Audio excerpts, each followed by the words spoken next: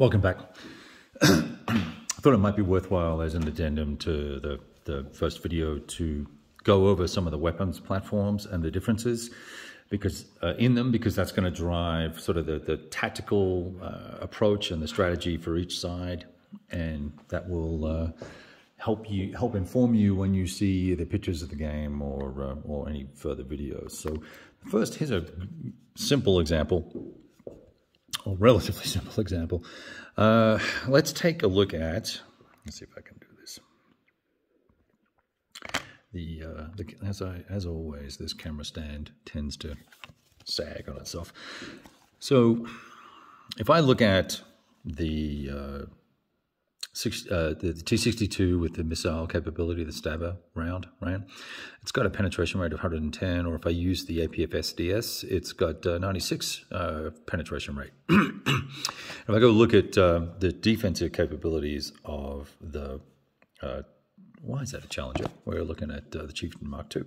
at the Chieftain Mark II, we can see that on defense, if I was being shot at by a KE, a kinetic energy weapon, right?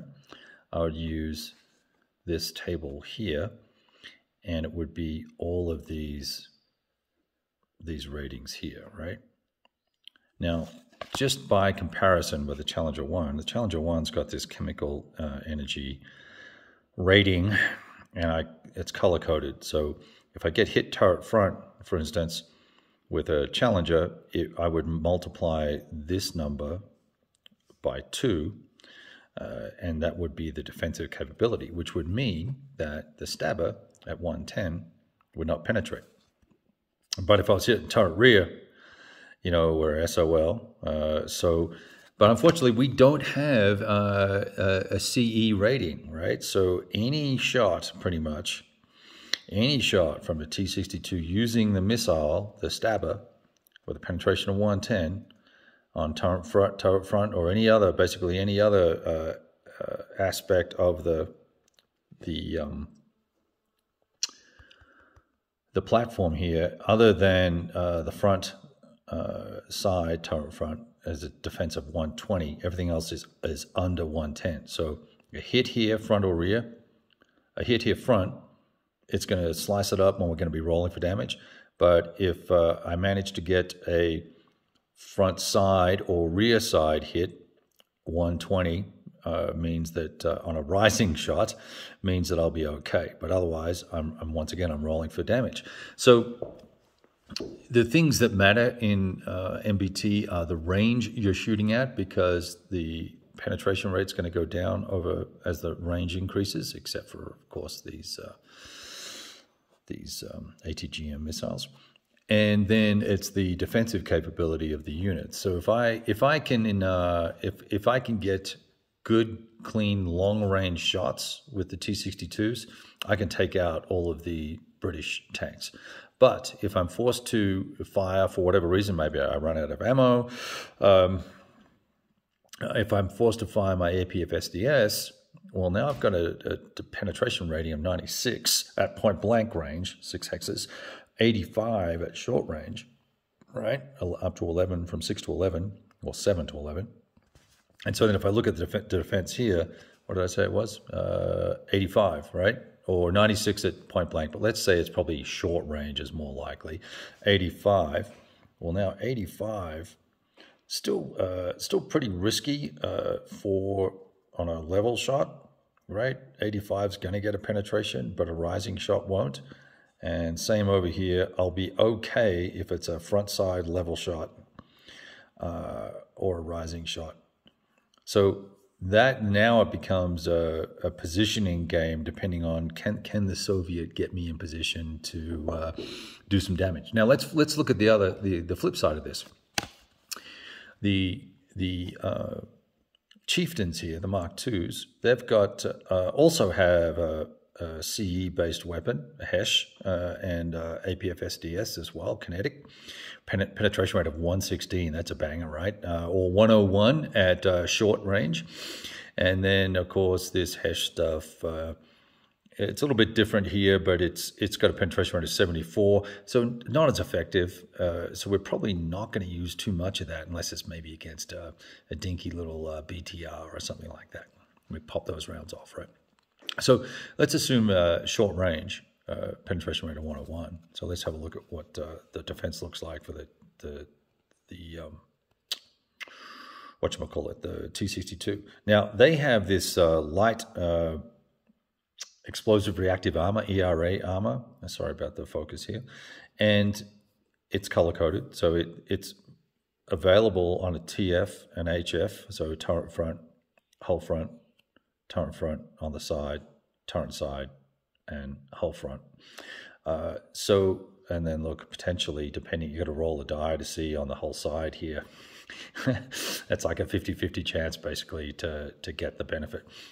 For LERA, for light ERA, we're going to look at is it a level shot with 40, uh, 48, right?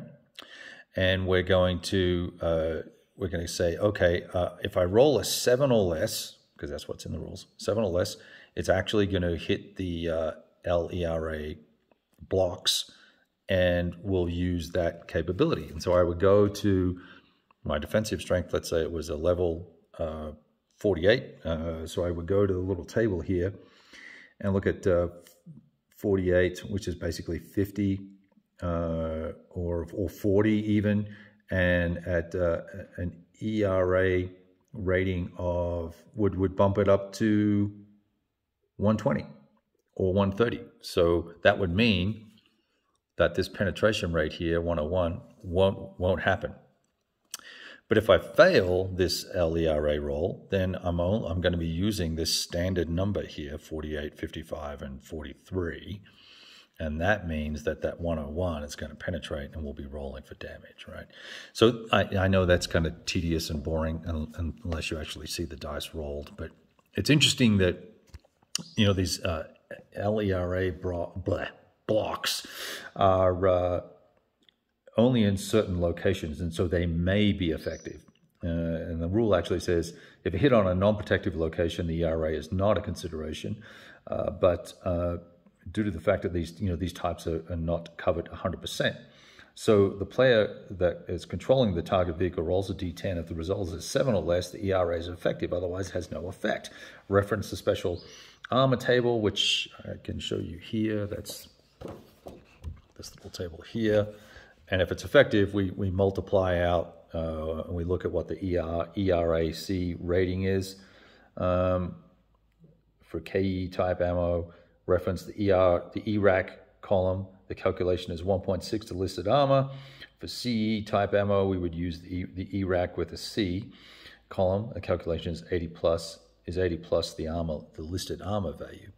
So we will have to do a little bit of math for each one of these uh, hits or, or types of hits and uh, and it's all going to depend on the location. So it's pretty interesting little uh, exercise there.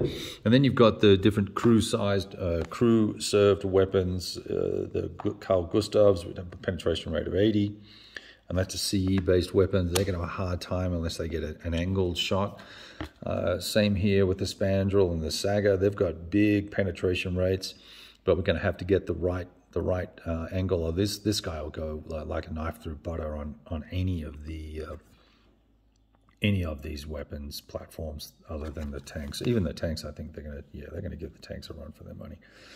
So the Striker also has a Swingfire missile, which has got a pen rate of 160. Now that'll kill something.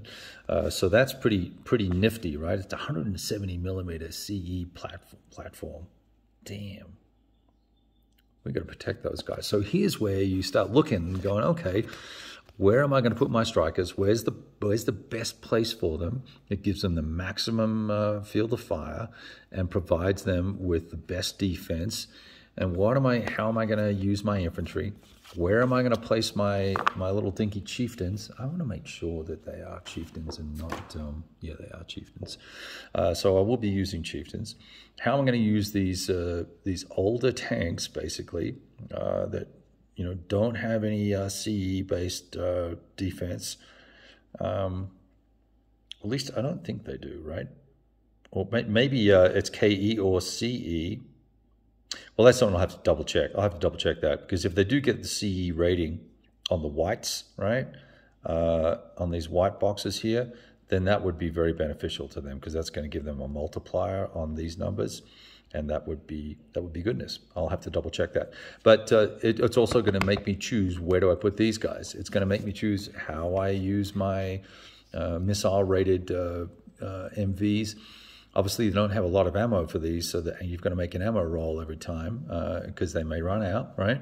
Uh, so it's all there's a lot of nuance in in the detail once you get down into it. All right, enough talking. Let's go set the finish setting this thing up, and we'll get after it later.